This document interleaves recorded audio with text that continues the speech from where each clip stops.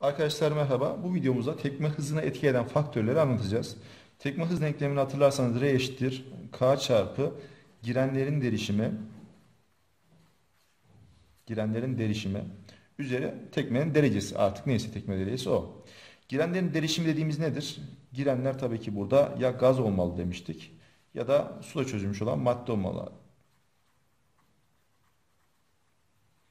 Tabii ki gaz ya da su çözülmüş olan maddelerin derişimi ne cinsinden? Molarite cinsinden.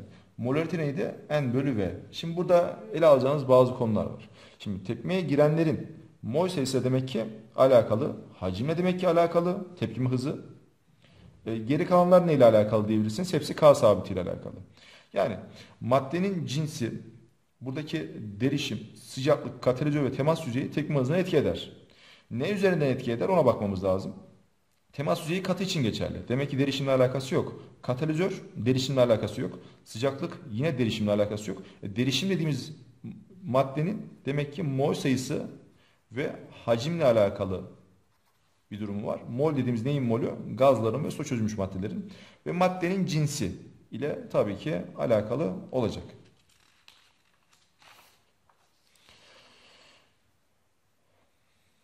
Maddenin cinsi tepkime hızına nasıl etki eder? Aktif metaller magnezyum demirden daha aktiftir.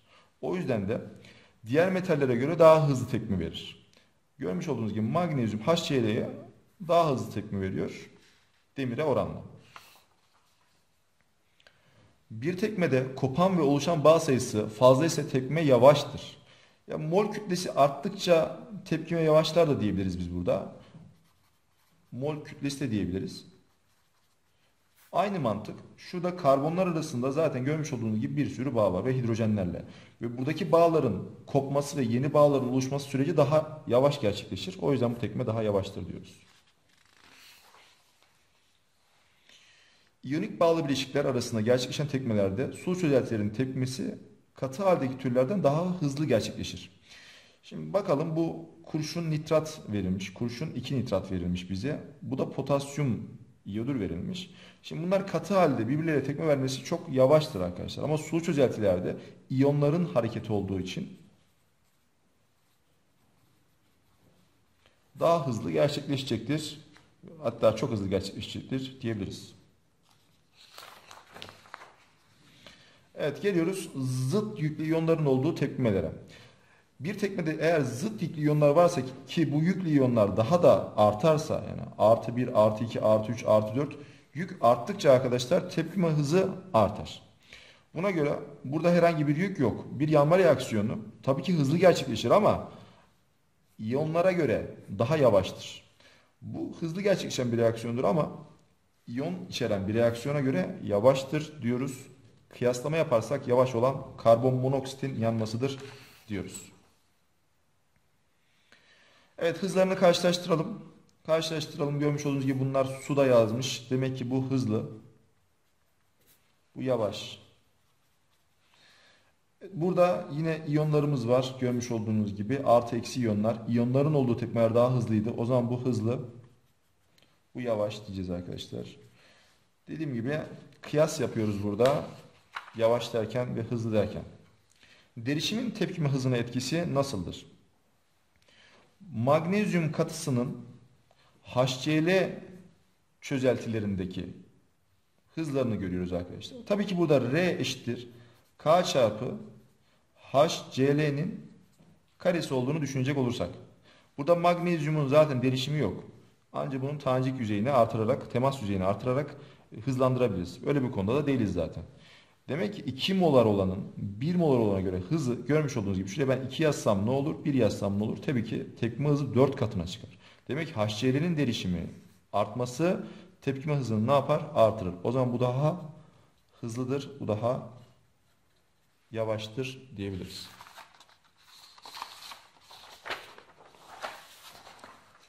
Geçiyoruz sıcaklığa.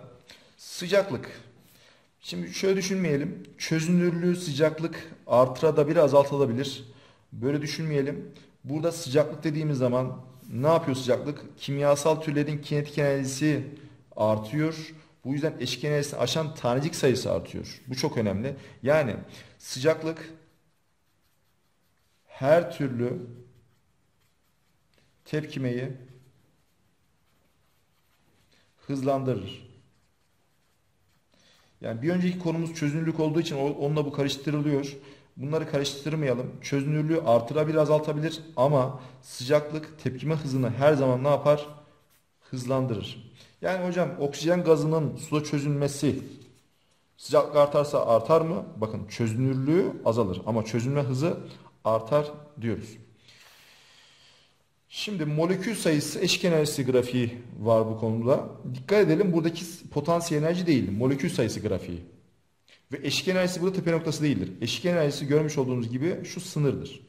Eşik enerjisini geçen tanecik sayısı dediğimiz zamansa demek ki bu yukarıda yani şu noktadan sonra eşik enerjisini geçen tanecik sayısı şu noktadan sonra fazla olan sıcaklık neymiş? T2.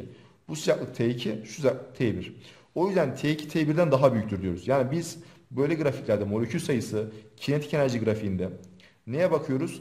Eşik enerjisinin geçen tanecik sayısı yani sağ tarafa bakıyoruz. Kim daha yukarıda? T2 daha yukarıda. O yüzden T2 daha yukarıda olduğu için birim zamanda oluşan madde miktarı T2'de daha fazladır. Demek ki T2 T1'den büyüktür diyoruz. Sıcaklık eşik enerjisinin geçen tanecik sayısını artırır. Böylece tepkime hızı da artar diyebiliriz. Bu grafikle potansiyel enerji grafiğini kıyasladığımız zaman grafiği şu şekilde ters çevirdiğimizde yani yan çevirdiğimizde bunu elde ediyoruz. Yani kinetik enerjinin eşik enerjisi kısmını bu şekilde aldığımızda potansiyel enerji bir önceki anlattığımız grafik türünde de potansiyel enerji tekme koordinatı grafiğinde de eşik enerjisi arkadaşlar bu şekilde çizilebilir. Burada tabii ki potansiyel enerji tekme koordinatı grafiğinde biz tekme entalpisi bulabiliriz. Ama bir önceki göstermiş olduğum molekül sayısı kinetik enerji grafiğinde biz tekme entalpisi bulamayız. Yani tekme egzotermik midir, endotermik midir? Bunu biz buradan anlayamayız. Daha önceki anlattığımız potansiyel enerji tekme koordinatı grafiği ile molekül sayısı kinetik enerji grafiğinin bir grafik üzerine birleştirilmesi ancak molekül sayısı kinetik enerji grafiğinin yan çevrilmesiyle elde edilebilir. Burada da dikkat edeceğimiz şey şudur. Sıcaklığın buraya yaptığı etkiyi biz burada bu şekilde gözlemleyemeyiz. Sıcaklık nasıl etki eder diye soracak olursanız böyle bir grafiği tabii ki çok görmezsiniz ama tepe noktasını değiştirmeden sıcaklığı artırırsam bu şekilde bir grafik elde ederim. Tabii ki tepkime entalpisi değişir. Yani sıcaklık tepkime entalpisini değiştirir.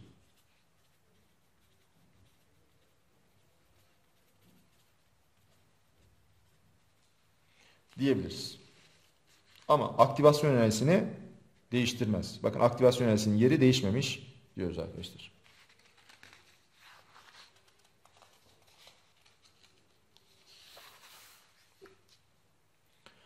Sıcaklık artışının tekme üzerinde iki etkisi vardır. Sıcaklık artışı taneciklerin kinetik enerjisini, ortalama kinetik enerjisini artırır. Zaten sıcaklık demek ne demekti? Ortalama kinetik enerji demekti. Tanım olarak sıcaklığı bu şekilde tanımlıyoruz aktifleşmiş kompleks oluşturabilecek taneciklerin sayısını artırır. Sıcaklık artışı eşik enerjisinin değerini ve tekmenin izlediği yolu tekmenin mekanizmasını değiştirmez. Tekmenin izlediği yol aktivasyon enerjisi sıcaklıkla değişmez. Geçelim katalizöre. Katalizör tanımı burada bizim için önemlidir. Biz katalizör deyince pozitif katalizör ifadesini aslında bakın bakarsanız kullanıyoruz. Yani katalizör tekmeyi hızlandıran bir şeydir olarak algılıyoruz. Aslında negatif katalizör diye bir kavram var ama onun üzerine çok durmayacağız. Bir tepkimede girenlerden ürünlere alternatif bir yol oluşturarak tepkime mekanizmasını değiştiren maddelere katalizör, tepkime hızlandıran maddelere ise pozitif katalizör denir. Katalizörler tepkime sonunda değişikliğe uğramadan yani katıysa katı olarak, sıvıysa sıvı olarak ayrılır. Pozitif katalizör tepkimenin aktivasyon enerjisini düşürür. Bu şekilde hızlandırıyor. Böylece farklı bir mekanizma üzerinden yürümesini sağlar. Tekme mekanizmasını arkadaşlar değiştirebilir, değiştirmeyebilir diyoruz. Burada e, tekmeyi sadece aktivasyon enerjisini tepe noktasını kısalttığı için mekanizma yolu değiştirir anlamında söylüyor bunu. Katalizör tepkime hızını artırırken tepkime sonunda oluşan ürünlerin bileşimini yani ürünün ne olduğunu ve ürünün verimini değiştirmiyor. Yani tepkime olacak ama 100 yılda olacak. Bunu biz katalizör sayesinde ya da enzim de diyebiliriz buna. Bunun sayesinde 1 saatte, yarım saatte hatta 5 saniyede yapabiliyoruz. İşte katalizör Bu işe yarıyor. Ama bekleseydik 100 senede belki olacaktı. Katalizör etkisi burada çok önemli iki maddemiz var. Katalizör etkin çarpışma sayısını artırır. Bakın çarpışma sayısını değiştirmez. Ama etkin çarpışma sayısını artırır. Etkin çarpışma neydi? Ürün oluşturan çarpışmaydı. Katalizör aktivasyon enerjisini düşürerek düşüren tek etkendir. Yani burada aktivasyon enerjisi dediğimiz EA bunu düşüren tek etken neymiş? Katalizör arkadaşlar. Katalizör tekme sonunda değişikliğe uğramadan tekmeden ayrıldığı için net tepkimede yine yer almıyor. Yani ara üründen farkı bunun nedir? Tekmeye giriyor, hızlandırıyor ve tekme sonunda çıkıyor. Katalizör istenirse tekme okunun üstüne yazılabilir. Tekme okunun üstünde şu şekilde mesela bir şey yazıyorsa demir, iyonu. İşte bu bir katalizördür. Çünkü tekme, net tekmede yer almıyor ama burada yazıyor. Gerçekleşmesi imkansız bir tekmeyi gerçekleştiremez. Bunu söylüyoruz. Katalizör ya inhibitör tekme hızına etki eder fakat burada imkansız bir reaksiyon varsa onu gerçekleştiremez. Yani bir aktivatör değil de aslında bakarsanız katalizör olması mümkün olmayan bir şeyi gerçekleştiremez. Mekanizmasını ve hız sabitini değiştirir. Tabii ki R eşittir K çarpı derişim dediğimiz zaman e, derişime etki etmeyen bir şey demek ki neyi değiştiriyor? K sabitini değiştiriyor diyebiliriz. Bir diğer maddemiz katalizörle ilgili. İleri ve geri aktifleşme enerjisini yani E, A, I ve E, A, G'yi aynı miktarda düşürür. E şimdi burası aynı miktarda düşerse ne olacaktır? Ürünlerin ve girenlerin potansiyel enerjisi değişmeyecektir. O yüzden tekme entalpisi değişmez. Oluşacak ürün miktarını değiştirmez. Tepkime yönünü değiştirmez. Tepkimenin yönünü değiştirmez. Yani üründen girene girenden ürüne dönüşümü sadece burada arkadaşlar hızlandıran bir maddeden bahsediyoruz. Aynı grafiği ele katalizörlü tepkimenin grafiğini ele aldığımız zaman şu görmüş olduğunuz bir önceki çizdiğimiz grafik olsa bizim için burada pozitif katalizör arkadaşlar tepe noktasını görmüş olduğunuz gibi potansiyel enerji tekme koordinat grafiğinde tepe noktasını düşürüyor. Bununla ilgili e, daha önce LYS'de soru çıkmıştı. Yani şu grafiği verip burada ne kullanılmıştır? Ve cevabı sadece katalizör kullanılmıştır olacaktı. Yani o yüzden çok önemli bir noktadır burası. Şimdi şunu şöyle çevirecek olursak bakın arkadaşlar daha iyi anlaşılır oluyor. Burada molekül sayısı kinetik enerji grafiğinde ise katalizör ne yapıyor? Bu şekilde kaydırıyor. Ve bu kaydırma etkisiyle beraber aktivasyon enerjisini değiştiren tek şey nedir demiştik? Katalizör demiştik. İşte bu iki grafiği bu şekilde yorumlayabiliriz. Son maddemiz ise temas yüzeyi. Tabi temas yüzeyi kimin için geçerli olacak? Katılar için geçerli olacak. Bir madde değil yani toz şeker, pudra şekeri. Şimdi bunları kıyasladığımız zaman çözünme hızlarını tabii ki temas yüzeyini artırmak tepkime hızını da artırır. Toz halindeki magnezyumun tepkimesi daha hızlı gerçekleşir. Sonuç olarak madde miktarı aynıysa ama ürün miktarı sonuçta nedir? Aynıdır. Dikkat edeceğimiz şey burada yine tanecik sayısının ürün miktarını değiştireceği ama tanecik yüzeyini ürün miktarını değiştirmeyeceği noktasıdır. Tekmeye giren taneciklerin temas yüzeyi arttıkça tanecikler arasındaki çarpışma sayısı artacağı için tekme hızı artar. 2 birden daha hızlıdır diyebiliriz. Evet.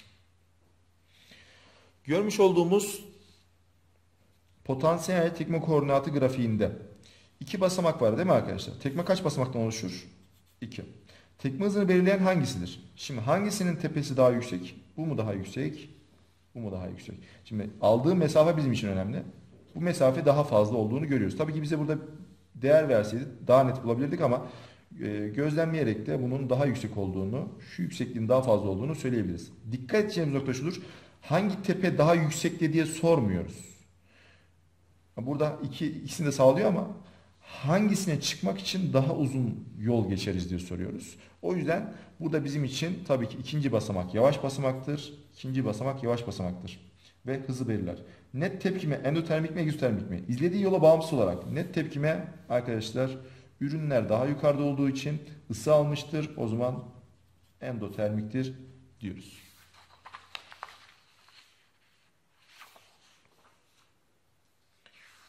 Evet sorularımıza geçiyoruz. Son iki sorumuz kaldı. Bu sorularımızı da yapıp dersimizi bitireceğiz. Derişimler sabit kaldığında iki katına çıktığında hızımız 4 katına çıkmış. Bakın B'nin derişimi iki katına çıktığında hızımız 4 katına çıkmış. O zaman R eşittir K çarpı dediğimiz zaman B'nin ne ile orantılı? Karesiyle orantılı bir ifade görüyoruz. B sabit kaldığında A iki katına çıktığında hızımız görmüş olduğunuz gibi sabit kalmış. A'nın derişiminin hıza bir etkisi yok. O zaman A'yı yazmıyoruz. Direkt olarak hız denklemi budur. Tekme tek basamaklı diyor. Buraya baktığımız zaman A'nın üçüncü kuvvetinin alınması gerekiyordu. Eğer tek basamaklı olsaydı. Demek ki mekanizmalı bir reaksiyondur. 2'yi almıyoruz. Tekmenin yavaş basamağı, tekmenin yavaş basamağında yalnızca B girenlerdedir. Doğrudur. Bakın burada 2B şeklinde oluyor. Doğrudur. Tekme hız sabiti. Tekme hız sabitin herhangi bir reaksiyon alacağız. Zaten A'nın bir önemi yok. Bizim için sadece B'ye bakmak yeterlidir. R 2 çarpı 10 üzeri eksi 4 eşittir. K çarpı 0,1 yani 10 üzeri eksi 1'in karesi. Buradan K eşittir 2 çarpı 10 üzeri eksi 2 olur. Bu da doğrudur. 2 ve 3 e, pardon 1 de doğruydu. 1, 3, 4 doğru olacak. Cevabımız Denizli olacak. Ve son sorumuzdayız artık. Burada görmüş olduğumuz gibi yine T2'nin eşik enerjisinin geçen tane sayısı daha fazladır.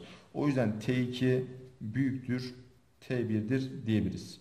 Bu ifade yanlıştır. T1 sıcaklığında daha çok ürün oluşur.